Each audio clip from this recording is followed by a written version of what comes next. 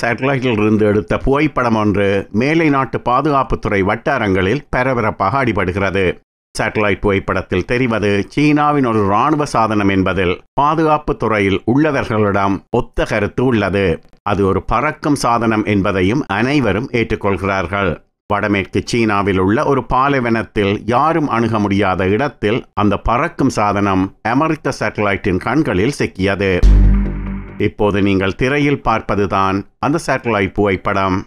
Satellite புகைப்படத்தை பார்க்கும்போது சுமார் ஒரு கிலோமீட்டர் நீளமுள்ள ரன்வேயில் அந்த பறக்கும் சாதனம் நிறுத்தப்பட்டுள்ளது. நூறு அடி நீளமுள்ள இந்த பறக்கும் சாதனம் பெரும்பாலும் ஒரு வான் கப்பல் அதாவது ஏர்ஷிப் என்று அமெரிக்க அதிகாரிகள் கூறுகிறார்கள். ஏர்ஷிப் என்பது விமானங்களில் இருந்து மாறுபட்டது. இவை சுயாதீனமாக சொந்த சக்தியில் வானில் நீண்ட நேரத்துக்கு பறக்கக்கூடியவை. வான் கப்பல்கள் பெரும்பாலும் ஆய்வுகளுக்கு பயன்படுத்தப்படுகின்றன. அந்த வகையில் உளவு பார்த்தலுக்கும் வான் கப்பல்கள் பயன்படுத்தப்படுகின்றன. வெவ்வேறு ரகமான வான் கப்பல்கள் உள்ளன. அதில் சீனாவில் எடுக்கப்பட்ட சேட்டலைட் புகைப்படத்தில் தெரிவது பெரும்பாலும் பிளிம்ப் வகையிலான வான் கப்பலாக இருக்கலாம் என்று ஊகிக்கப்படுகிறது. பிளிம்ப் என்பது இறுக்கமில்லாத அல்லது பகுதி இறுக்கமான வான்கப்பல். எமது தமிழ் குழப்பமாக இருந்தால் ஆங்கிலத்திலேயே கூறிவிடலாம். Blimp is and non rigid O semi ரிகிட் ஏர்ஷேப் நாம் இப்படி சொல்வது சிலருக்கு பிளிம்ப் வான்கப்பல் என்றால் எப்படி இருக்கும் என்ற குழப்பத்தை ஏற்படுத்தியிருக்கலாம். அதனால் முதலில் ஒரு பிளிம்ப் வான்கப்பலின் மாதிரி உருவத் தோற்றத்தை காட்டிவிடலாம். இப்போது திரையில் தெரிவதுதான் ஒரு பிளிம்ப் வான்கப்பல் இந்த ஆண்டு பிப்ரவரி மாதம் நான்காம் தேதி அமெரிக்க வான்பகுதியில் சீனாவின் உளவு பார்க்கும் பலூன் ஒன்று பறந்தது அவதானிக்கப்பட்டது. அதன்பின் அமெரிக்க விமானப்படை அந்த பலூனை சுட்டு வீழ்த்தியது உங்களுக்கு ஞாபகம் இருக்கலாம். அப்படியான பலூன்களையும் வான்கப்பல் என்றுதான் அழைக்கிறார்கள். இப்போது இந்த சேட்டலைட் புகைப்படம் வெளியிடப்பட்ட காலம் கூட சில கேள்விகளை எழுப்பியுள்ளது. அதற்கு காரணம் இப்போது வெளியிடப்பட்டுள்ள இந்த சேட்டலைட் புகைப்படம். கடந்த ஆண்டு நவம்பர் மாதம் எடுக்கப்பட்டதாக புகைப்படத்தை எடுத்த அமெரிக்க சேட்டலைட் நிறுவனம் பிளாக் ஸ்காய் தெரிவித்துள்ளது. இன்று மேற்கு நாட்டு பாதுகாப்புத்துறை வட்டாரங்களில் உள்ள கிட்டத்தட்ட அனைவரும் இந்த சேட்டலைட் புகைப்படத்தில் உள்ள பிளிம்ப் பற்றியே விவாதித்துக் கொண்டிருக்கிறார்கள். அந்த வகையில் பார்க்கும்போது இது ஒரு முக்கியமான சேட்டலைட் புகைப்படம். இங்கு எழுப்பப்படும் கேள்வி என்னவென்றால் கடந்த ஆண்டு நவம்பர் மாதம் எடுக்கப்பட்ட இந்த சேட்டலைட் புகைப்படம் ஏன் இவ்வளவு காலமும் வெளியிடப்படவில்லை? அதன் தொடர்ச்சியாக மற்றொரு கேள்வி ஏன் இப்போது வெளியிடப்படுகிறது? ஏன் இவ்வளவு காலமும் வெளியிடப்படவில்லை என்ற கேள்விக்கு ஒரு பதில் உள்ளது. பூமியில் உள்ள பகுதிகளில் என்ன நடக்கிறது என்று காட்டும் சேட்டலைட் புகைப்படங்களை எடுப்பது பல அமெரிக்க தனியார் நிறுவனங்கள். அமெரிக்காவில் இப்படியான தனியார் நிறுவனங்களுக்கு சேட்டலைட் இயக்கும் அனுமதி கொடுக்கப்படும் போது அவர்களால் எடுக்கப்படும் சேட்டலைட் புகைப்படங்கள் அமெரிக்காவில் உள்ள ஒரு தனிப்பிரிவுக்கு அனுப்பப்பட்டு அங்கு அனுமதி பெறப்பட்ட பின்னரே வெளியிடப்பட வேண்டும் என்ற நிபந்தனை அடிப்படையில் தான் அனுமதி கொடுக்கப்படுகிறது. அதாவது பொதுமக்கள் எப்படியான சேட்டலைட் புகைப்படங்களை பார்க்கலாம் எப்படியான புகைப்படங்களை பார்க்கக்கூடாது என்று அமெரிக்காவின் அந்த இலாகா முடிவு செய்கிறது.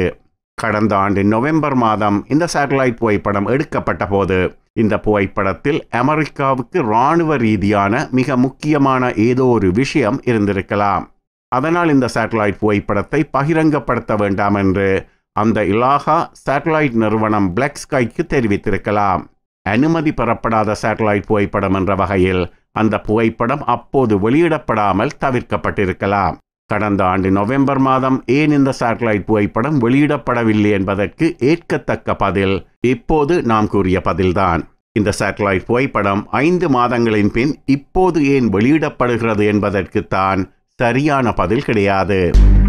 ஏதோ ஒரு காரணத்துக்காக இப்படி ஒரு சேட்டலைட் புகைப்படம் வெளியே வந்து சர்ச்சையை ஏற்படுத்த வேண்டும் என்பது அமெரிக்காவில் உள்ள ஏதோ ஒரு துறையின் முடிவாக இருக்க வேண்டும். அதற்கு அவர்களிடம் ஒரு சரியான காரணம் கூட இருக்கலாம். வான் கப்பல்கள் தொடர்பாக சீனா சமீப காலத்தில் ஏதாவது பரிசோதனை செய்ய போகிறது என்ற தகவல் அமெரிக்காவுக்கு முன்கூட்டியே கிடைத்திருக்கலாம். அந்த பரிசோதனை நடப்பதற்கு முன் எமக்கு சீனாவின் வான்கப்பல் பிளிம் பற்றிய தகவல்கள் தெரியும் என்று காட்டுவதற்காக இந்த சேட்டலைட் புகைப்படம் இப்போது வெளியிடப்பட்டிருக்கலாம். அல்லது வான்கப்பல்கள் தொடர்பாக சீனா ஏதாவது ஒரு முயற்சியை செய்ய திட்டமிட்டிருக்கலாம். அந்த திட்டம் பற்றி எமக்கு தெரியும்.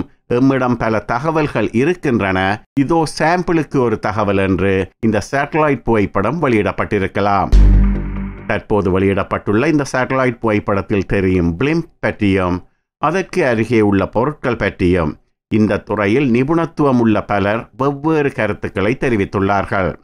சீனாவின் இதே பாலைவன பகுதியில் எடுக்கப்பட்ட மற்றொரு சேட்டலைட் புகைப்படத்தை பார்க்கும்போது விமானம் நிறுத்தப்பட்ட இடத்துக்கு சற்று தொலைவில் ஒரு ஹேங்கர் அமைக்கப்பட்டிருப்பது தெரிகிறது. இப்போது நீங்கள் திரையில் பார்ப்பதுதான் அந்த சேட்டலைட் புகைப்படம். இராணுவ ஹேங்கர் என்பது பொதுவாகவே இராணுவ சாதனங்கள் நிறுத்தி வைக்கப்படும் இடம். விமானங்களை நிறுத்தி வைத்தால் அதை ஏர்கிராஃப்ட் ஹேங்கர் என்று கூறுவார்கள். இதை ஏர்ஷிப் ஹேங்கர் என்று கூறலாம். சேட்டலைட் புகைப்படங்களில் தெரியும் ஏர்ஷிப் ஹேங்கரை பார்க்கும்போது அது கிட்டத்தட்ட தொள்ளாயிரம் அடி நீளமான ஹேங்கர் என்பதை தெரிந்து கொள்ள முடிகிறது. சேட்டலைட் புகைப்படத்தில் காண்பிக்கப்பட்ட பிளிப் வான் கப்பல் நூறு அடி நீளமானது மட்டுமே. நூறு அடி நீளமான ஒரு வான் கப்பலை நிறுத்துவதற்கு தொள்ளாயிரம் அடி நீளத்தில் ஹேங்கர் அமைக்க மாட்டார்கள். இதனால் சீனா உருவாக்கப் போகும் பெரிய அளவிலான வான் கப்பலின் ஒரு மாதிரி தான் வெளியே நிறுத்தப்பட்டுள்ளது என்றும் கூறலாம். பெரிய அளவிலான வான் கப்பல் அந்த ஹேங்கருக்குள் வைத்து தயாரிக்கப்படுவதற்கும் வாய்ப்பு உள்ளது.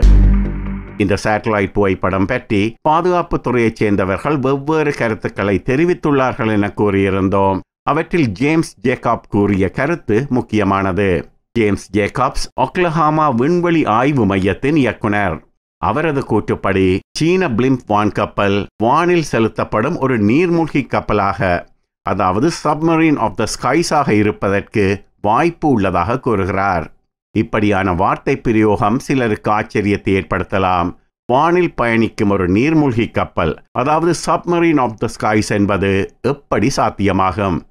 தண்ணீருக்கு அடியே செல்வதுதான் நீர்மூழ்கி கப்பல் வானில் தண்ணீர் கிடையாது. அப்படி இருக்கும்போது ஒரு நீர்மூழ்கி கப்பல் எப்படி வானில் பயணிக்க முடியும் என்ற கேள்வியும் எழ முடியும். முதலாம் உலக யுத்த காலத்தில் எஸ்எஸ் கிளாஸ் ஏர்ஷிப் என்று ஒன்று இருந்தது.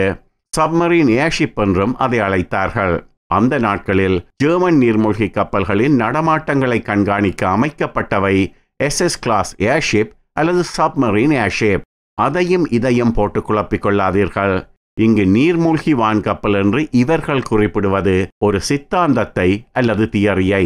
அந்த சித்தாந்தம் என்னவென்றால் தண்ணீரில் போகும் கப்பல் கடலின் மேல் மட்டத்தில் பயணித்தால் அந்த கப்பலை கண்களால் பார்க்க முடியும்.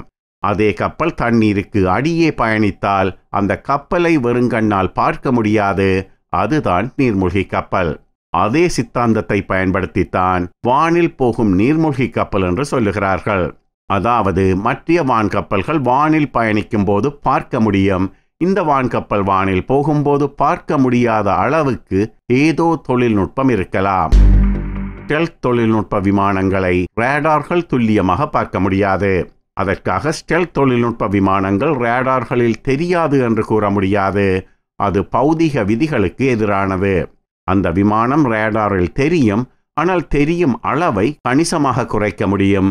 பூஜ்ஜியத்துக்கு மிக அருகே கூட கொண்டு செல்ல முடியும். அதுதான் ஸ்டெல் தொழில்நுட்பம். இப்போது நீங்கள் திரையில் பார்ப்பதுதான் உலகின் முதலாவது ஸ்டெல் தொழில்நுட்ப விமானம். இது அமெரிக்க தயாரிப்பு F one one seven Nighthawk விமானம். ஆயிரத்தி தொள்ளாயிரத்தி எண்பத்தி ஓராம் ஆண்டு தயாரிக்கப்பட்டது. இப்படி ஒரு தொழில்நுட்பத்தையும் வான் கப்பல்களில் பயன்படுத்தினால் அதையும் வான் நீர்மூழ்கி கப்பல் என கூற முடியும் என்பதே தற்போது கூறப்படும் கூற்று. தற்போது வெளியிடப்பட்டுள்ள சேட்டலைட் புகைப்படத்தில் தெரியும் உருவத்தில் எதை வைத்து அது ஒரு வான் நீர்மூழ்கி கப்பலாக இருக்கலாம் என்று இவர்கள் கூறுகிறார்கள் என்பதற்கு சரியான விளக்கம் கூறப்படவில்லை. ஆனால் ஆக்லஹோமா விண்வெளி ஆய்வு மையத்தில் இப்படியான வேலைகள் பல செய்கிறார்கள். அதனால் ஏதோ ஒரு விதத்தில் அவர்களால் இது உணரப்பட்டிருக்க வேண்டும். அல்லது அமெரிக்கா கிட்டத்தட்ட இதே போன்ற ஒரு ரகசிய வேலை திட்டத்தில் ஈடுபட்டிருக்கலாம். அந்த அமெரிக்க ரகசிய வேலை திட்டத்தில் ஒக்லஹோமா விண்வெளி ஆய்வு மையத்துக்கும் தொடர்பு இருந்திருக்கலாம். வான்கப்பல் திட்டத்தை சீனாதான் வைத்திருக்கிறது என்றில்லை அமெரிக்காவும் வைத்திருக்கிறது. வான்கப்பல்களில் மூன்று ரகங்கள் உள்ளன. அவற்றில் ஒன்று நாம் ஏற்கனவே குறிப்பிட்ட பிளிம்ப் மற்றது சுயாதீன பறத்தல் பலூன்கள். மூன்றாவது ரகம் ஒன்று இருக்கிறது. அதுதான் ஏரோஸ்டாட் அமெரிக்கா பயன்படுத்துவது அந்த ரகத்திலான வான்கப்பல்களை. இப்போது நீங்கள் திரையில் பார்ப்பதுதான் ஒரு ஏரோஸ்டாட் வான்கப்பல். இது காற்றை விட எடை குறைந்த மிதப்பு வாகனம். Lighter than air aircraft America செய்யும் ஏரோஸ்டாட்டை சீனா கண்காணித்துக் கொண்டிருக்கும். சீனா செய்யும் பிளிம்பை அமெரிக்கா கண்காணித்துக் கொண்டிருக்கும். தற்போது வெளியாகியுள்ள சேட்டலைட் புகைப்படம் பற்றி அமெரிக்க பாதுகாப்பு தலைமையகம் பென்டகான் அப்படியொரு புகைப்படம் உள்ளது என்பதை நாம் அறிந்துள்ளோம். அது பற்றிய மேலதிக தகவல்களை எம்மால் வெளியிட முடியாது என்று கூறியுள்ளது. சீன பாதுகாப்பு அமைச்சு இது பற்றி எந்த தகவலையும் வெளியிடவில்லை. மொத்தத்தில் இது ஏதோ ஒருவித ரகசிய திட்டத்தின் மாதிரியை உருவாக்கும் திட்டமாக இருக்கவே வாய்ப்பு அதிகம்.